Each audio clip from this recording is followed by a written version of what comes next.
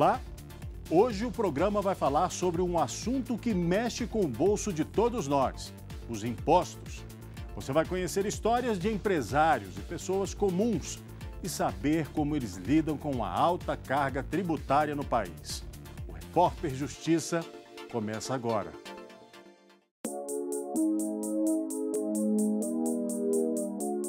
A economia não para e, enquanto vivemos, pagamos impostos. Existem os diretos e os indiretos, que são pagos quando consumimos serviços ou produtos.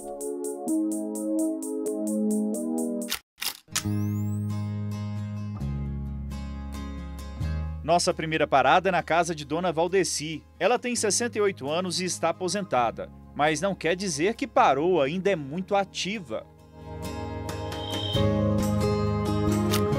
Para uma conversa sobre impostos, o repórter Justiça também convidou o Álvaro Modernel, educador financeiro. Dona Valdeci, a senhora separou aqui os impostos que a senhora paga diretamente, né? Quais são eles? São IPTU, IPVA e imposto de renda. Álvaro, e esses atingem diretamente a renda né, do trabalhador?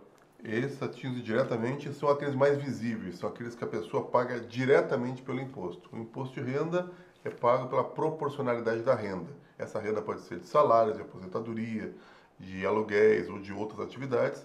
Soma-se todo esse tipo de ingresso, esse tipo de renda, e conforme a faixa de valores que isso vai incidir uma alíquota que pode variar de 7,5% até 27,5%.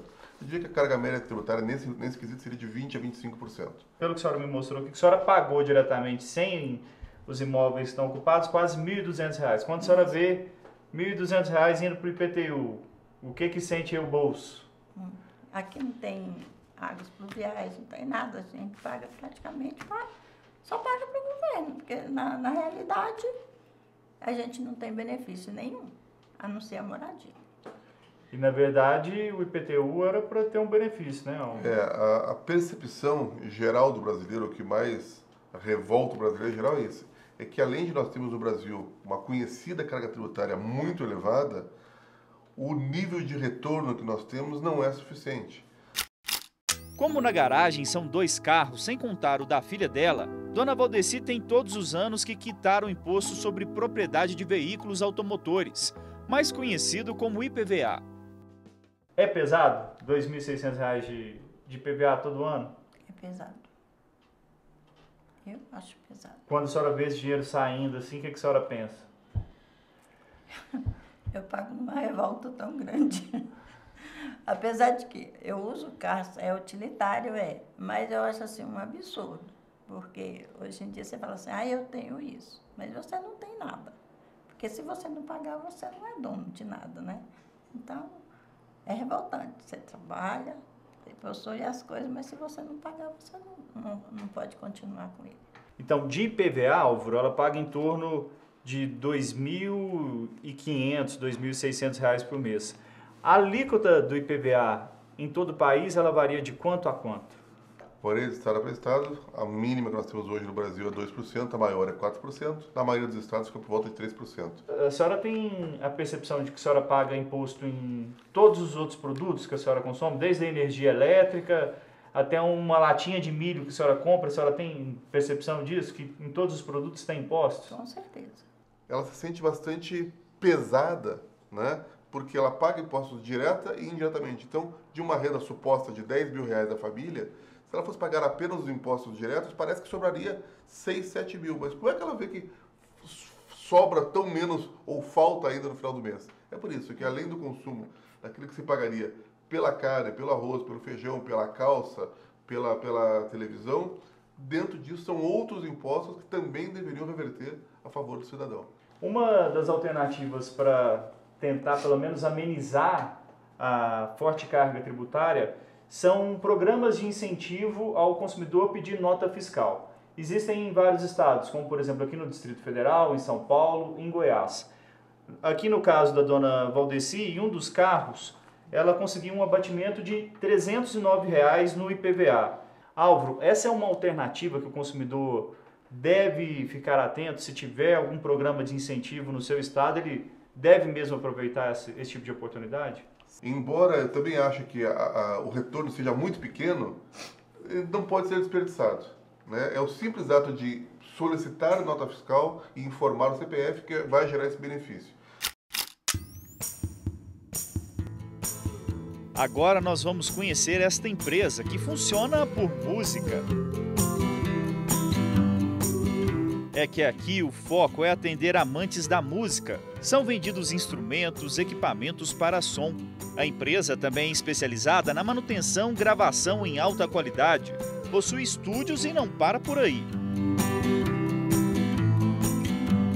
O que hoje se tornou uma empresa de respeito começou de forma bem mais simples o Aldo conta que não foi fácil. É um caminho meio, meio tortuoso, né? meio distante também, né? Eu hoje estou com 44 anos, esse ano eu faço 45 e eu praticamente comercializo, vamos dizer assim, produtos e serviços desde os 15, 16 anos de idade informalmente e formalmente a partir do ano de 1993, né, que foi quando foi instituída a minha empresa. O empresário lembra alguns fatos que foram importantes para o crescimento do setor que ele atua.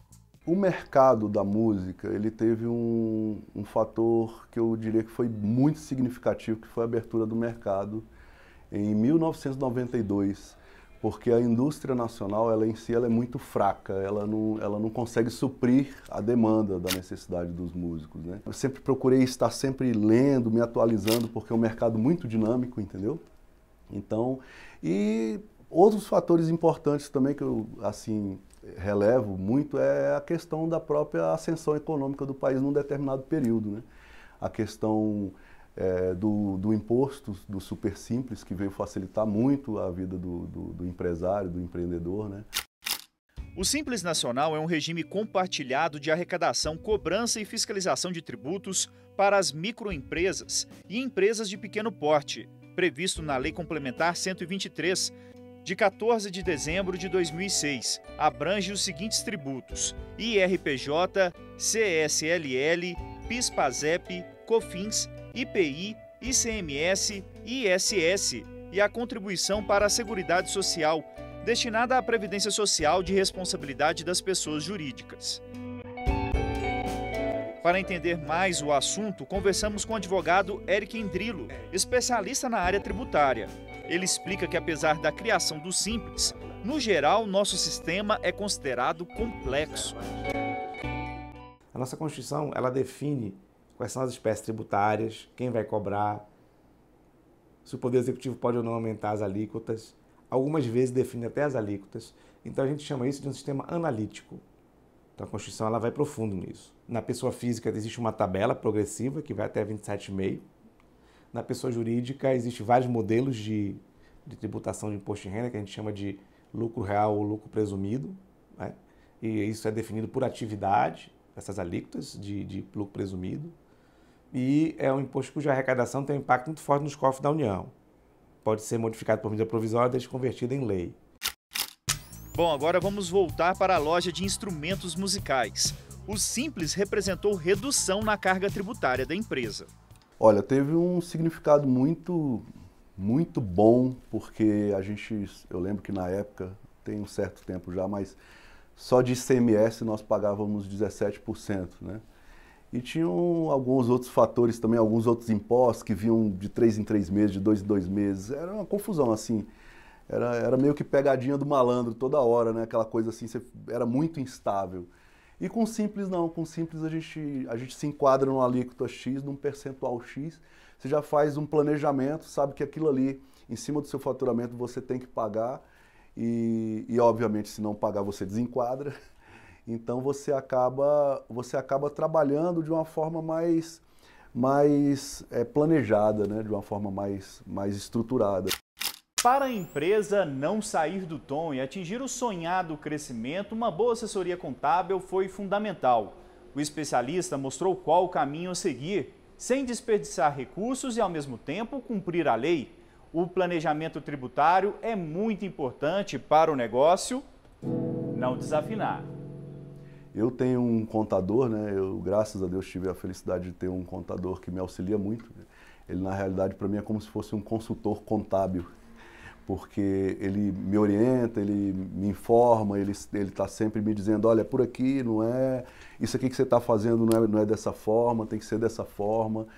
E aí você acaba andando de uma forma mais assertiva, né, de uma forma mais correta. E que direcionou o caminho da minha empresa. Olha, para você não ter problemas e para você é, alcançar os objetivos que você quer, você tem que agir assim, assim, assim, assim, assim, assim. A analogia que eu faria como pessoa física seria como aquela pessoa que não declara o imposto de renda e que recebe uma multa absurda por não ter declarado ou por ter perdido o prazo, ou aquela pessoa que declara e que às vezes tem coisas que ela poderia ter inserido e não inseriu, ou aquela pessoa que declara o imposto de renda e, e coloca informações ali é, que são irrelevantes ou são informações desnecessárias, ou seja, é, para ter uma, uma assertividade, para ter uma coisa correta, é necessário você se cercar do máximo de informação, né? No próximo bloco, vamos conhecer uma contadora que faz trabalho voltado para a área da saúde.